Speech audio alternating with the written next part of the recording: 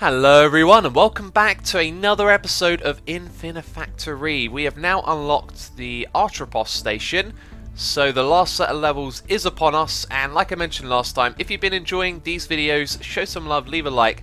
As always, thank you so much for your support on these videos. Let's go and play this new puzzle. By the way, the mission briefing, he was just talking about how he's made some new tools for us to use and I think we get two of them in this one puzzle right here. So this one is called Landing Alignment Guide. Sounds interesting. Sounds like something that might be big in size. Uh, that's the output. We've got these things sitting there in the middle. And that's... Oh, we like colouring them. That sounds about right, doesn't it? Okay, so this thing comes through in the shape that it needs to be when it's over here. So we're probably going to end up using uh, rotation and stuff like that. Let's have a look around. Let's listen to Ortis. Alright, time to show off my latest creations. I call this the counter. Have you ever wanted to trigger a sensor on every other block? Well, you are in for a treat. Basically, the have. counter is an intelligent sensor which will trigger on every two, three, four, or however many blocks you want. There is also the painter. You can selectively paint parts of a product or material by passing it by a painter. I guess the counter is technically optional, but you definitely need to use the painter to build this. Right, so if we pass it by, it paints. Now, just looking at the block, I can't help but feel it paints on the side with that grill. And probably not from above. Now, having a look here as well, the counters are there. These look really cool. Let's chuck one of those down. This has actually been something I've wanted to use before. And, wow, that is quite... Quite the thing right there. How many can it count up to? Nine times. That is a very nice customization. And the sensor is on the opposite side. So I'm guessing maybe it's these bits here you hook up the conduit to. You might not be able to hook it up to the back actually. So obviously we can use that to make this uh, a little bit easier on ourselves. I can't help but feel that we want to run it by the white one all the way across. Also should we check the other side of this and see what's on there okay so that side's plain yeah so we'll drop it down or rotate it at least The place we want to rotate it to is in line with this. So our first block to be placed down, oh yeah, reset all of these down here as well, is uh, some form of rotation, and then we'll have conveyors down here as well. So it will go onto there. I'm not sure if it will rotate immediately, because these blocks probably not actually in the way. Um, and then it's going to have a gap of two, so we can put one there, and we'll probably put just another one there so it drops down safely and something like that should bring it along. I'm not sure what the gap is supposed to be. Let's just see if that... Oh, wait, what? I missed a gap. How terrible. Let's put that... Oh, put that back there. Silly little mistake. There we go. Off it goes. Down it falls, and it's going to paint that side, right? Yes. Okay, so that's a really good start. That makes a lot of sense. We'll then obviously rotate it to bring it around to this side, well, we need to make one pass across, and then to me that says go up and over and then down. Now I'm just thinking, I'm just thinking, is the counter useful in any way on this level? I can't think of a way to use it immediately, so I'm going to guess that maybe it's not, but it might be useful in other ones. And another issue I see here is that if we want to run it by and then drop it down, we shouldn't do it on the same side. We should run it by on this side, rotate it, drop it down on that side. That sounds about right to me. Okay, so let me lay down a whole bunch of conveyors and rotators and we'll see if that works. Okay, this is as far as we've got. I've decided to do the up bit on that side first just because we need to raise this by one block in order to send it across the side and it's not like we can raise it up by one block over here so it made sense to go up first and then to turn it around because when we drop it down we can drop it to the correct height right um, the question is just how do we want to go about doing that? So let's see this thing in action. Been using a minimal amount of blocks again. So it's going to go up and we've got a leeway of like two blocks here. So that means we can actually attach a block on top of this. We'd need one up here to nudge it along. And maybe maybe the block here is a rotator or even we have like some sort of rotation on the side. I'm not quite sure how I'm going to rotate this, but basically if we can get it to rotate and be pushed with just a couple of blocks, and it falls into the right position to be at this height and then go straight across, that's obviously going to be the most optimal way to do it. Okay, and with that block there, I think we've got this. So I tried a whole bunch of different things.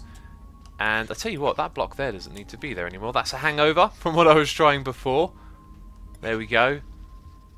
And now it gets rotated, rotated again. And that bit was important because it's going to drop it down to the right level. However, um, as you can see, it lands on the side over here. So we need a belt to point it in this direction. And then it needs to land on one somewhere around here, I think. That's going to put it at the right height. Is that the right height? No, that looks like the wrong height. So let's try that. Around it goes. Gets rotated. Drops in at the right height. And goes across. Yes, so we're pretty much there now. We just need it to go, let's see, uh, just a little bit further really. Probably one of them here. And then when it's finished going along there, we need to send one back in this direction. So hopefully uh, that height right there might work. And then we drop it down like that. Cool. That might work first time, but I don't think it will. I think I need to adjust it. Yes, it needs some adjustments.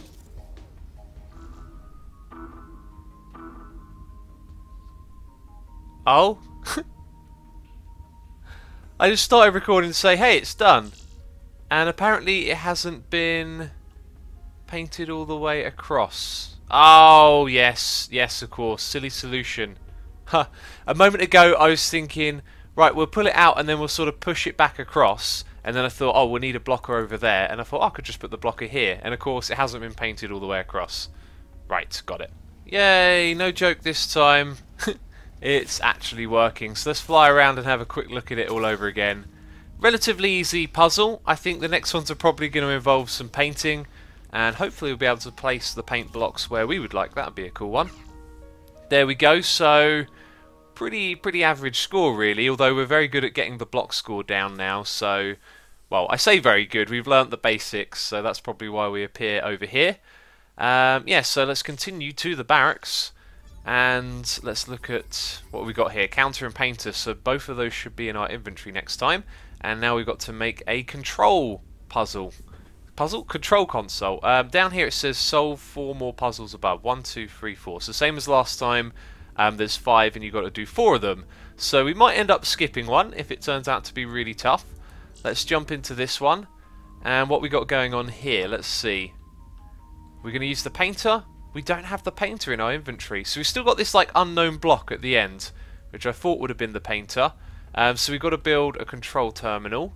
And it looks relatively straightforward. So we've got green blocks at the back We've got these ones every other one. We've also got like a, a, corner terminal block. So depends on how these come out, I guess. We've got things on that side, things on this side. Let's listen to uh, Ortis. The overlords have been enslaving other beings for thousands of your Earth years.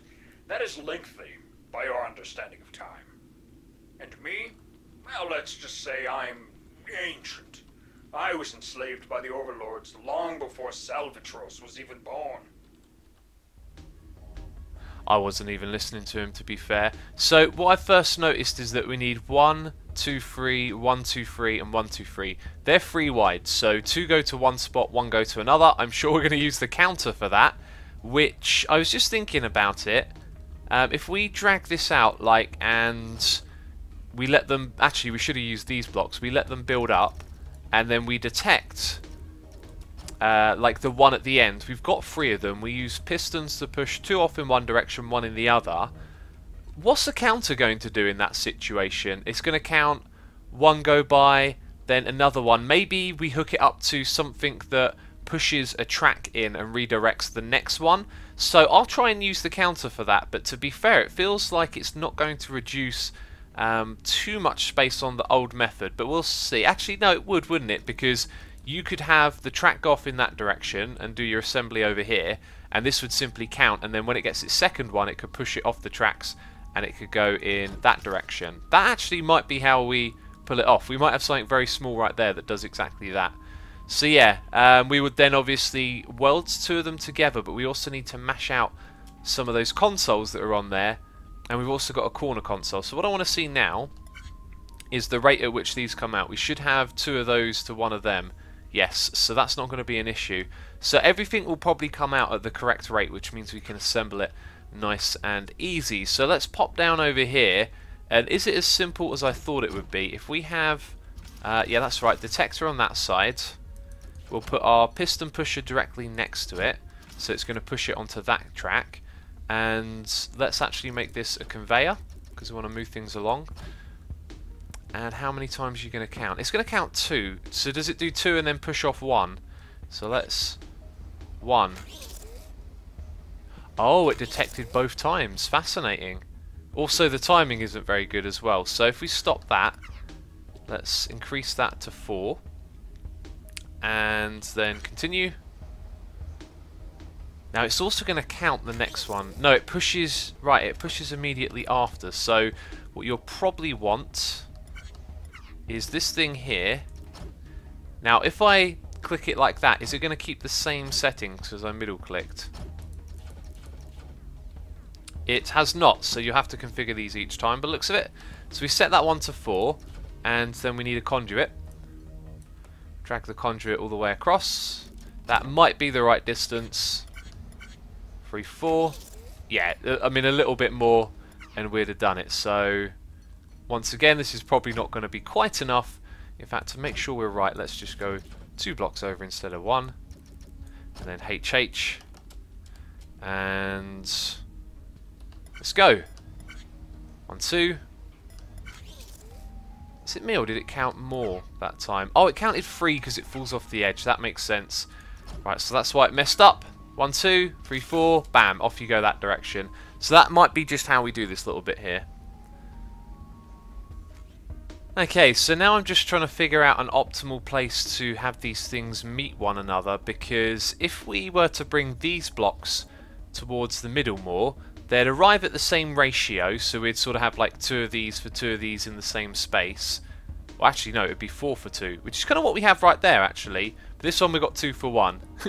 anyway, my thinking there is just that um, if we were to bring them further across, it means we have to use more of them like this whereas these ones reduce block score. So there's there's so many different ways you can solve puzzles with different objectives. It's really cool. Uh, but over here I made this a little bit more efficient. So let's see it in action. You can see by stopping them here it uses less space and less of the conveyor blocks and it still does the same job. And it just fits into that space as well. Um, I swapped the sides so that this one will be closer to the corner unit.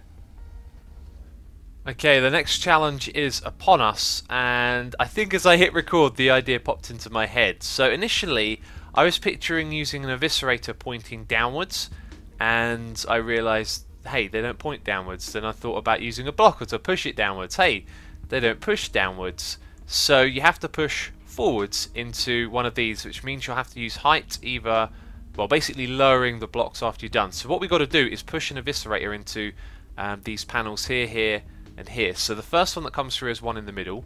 The second one has uh, one on that side and one on this side. And it's going to make joining them together on the corner a little bit confusing because they kind of share that middle bit. So not quite sure how that's going to work out, but I, I reckon we'll suss it out. So what I just thought was, um, when this thing comes across, it is two blocks tall, and then it goes forward by two blocks. At this point, it's still sort of, you know, on the track, and then it goes into this space, which is when it falls down. So if an eviscerator is pointing into that spot like so, it's going to destroy whatever's there. Now the first one that comes down, let's say we go for the one in the middle, it would be there, and the second one um, would be ones either side. So what if we were to have some of these pushers back here, and they're wired up to counters that count each one coming through. I, I don't know how this is going to work. This looks so complicated, actually, now that I put it together. Um, yeah, so we want like one extended by default, but then we need the other ones to not be extended. I actually think that's going to be really difficult. We may need to separate these in order to... Yeah, that sounds so much more logical. Before they leave this place, we separate them and put them on two different tracks as well. And then the same thing for this side over here. Right, so basically we're going to separate these three times over now. We're going to have like one that goes straight, one that goes to the right, one that goes to the left, something like that. And each one falls over a different eviscerator and we won't bother with these. So here's how that comes together. Uh, this bit has been sort of changed around a little bit. So we set them off into three different lanes, and then they go down their own configuration of eviscerators, like that. And then they get welded at the bottom here as well, by the way. So that one waits until the next one comes along, which will get welded, and then they both move forward. So at this point, I think I might have set this up the wrong way, but the cool thing here is we can just rearrange the eviscerators and change their configuration around if we want to do that a little bit differently. Same for this one over here actually, because at the moment I'd have to rotate that that way, move it to that side, which might be an important thing actually, because then that would rotate into that shape. So let's say I moved this and we destroyed the two blocks on this side and rotated it that way and joined them together. We would then have to rotate them twice and I think, yes, the shape would be completely wrong actually.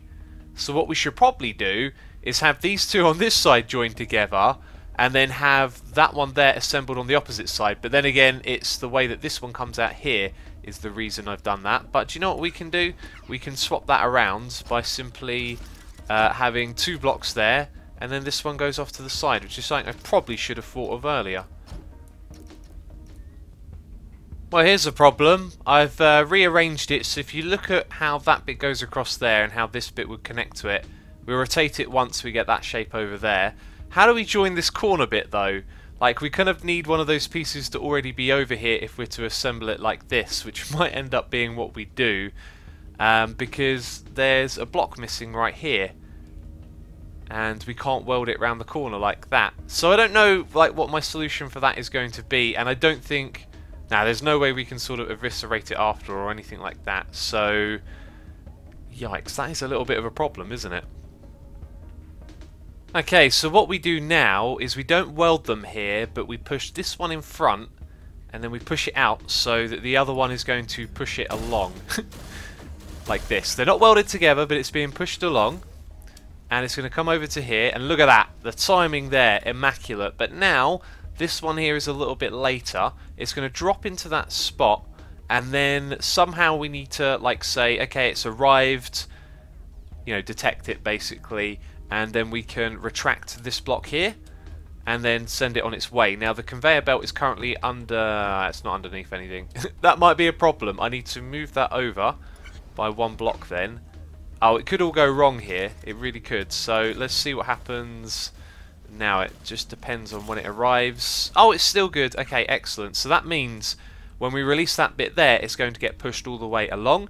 We can weld everything else after it. We just need to detect and this thing falling in. So let's speed it up and I'll show you exactly what I mean. Everything that needs welding can be in this line right here. Those need welding together, that needs welding together. So in a straight line after this bit, everything's going to go through some welders. Now when it comes to dropping this one in, I think what we might end up doing is having a detector somewhere around here and then... Actually, that might work. that might work just fine. Um, yeah, I was going to say it might be a game of timing. Like, we drop it in, and then it starts to move, so we have to bring this over by one so it can fall into the correct spot as it's moving. But that being said, where exactly are we here? We're down by one block off the side and then and then across by one. So let's do that quickly while I remember. That means we want to have a sensor here pointing in that direction and that's going to be hooked up to this thing here. Now I'm pretty sure this is going to push everything we've built off of the tracks. uh, that's my guess as to what will happen here. Let's put a block below that. And then over here we'd have another conveyor somewhere. And behind this thing, I think literally is where we want to have our welders. And that might be the entire contraption right there. You know, minus the bit at the end. But it never really works that easily. There's always something Right, so let me guess. Retracted for a moment. Yeah. Um, so we need a different method to stop it there, and I don't know quite what's going to work, to be fair.